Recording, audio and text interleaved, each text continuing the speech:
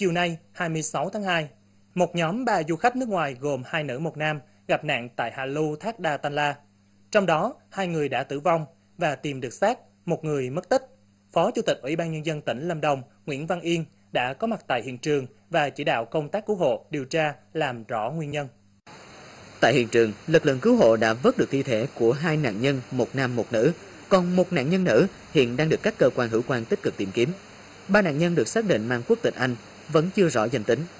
Vào lúc 11 giờ 30 ngày 26 tháng 2, cả ba nạn nhân đã thuê xe du lịch băng rừng từ phía đèo Brent đi vào thác để tham gia trò chơi chinh phục mạo hiểm.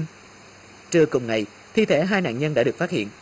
Do địa điểm nơi ba du khách nước ngoài gặp nạn rất dèo leo nguy hiểm, nên lực lượng cứu hộ gặp khó khăn trong việc vượt thác để đưa hai thi thể lên phía cổng vào khu du lịch thác đã Tăng Lan.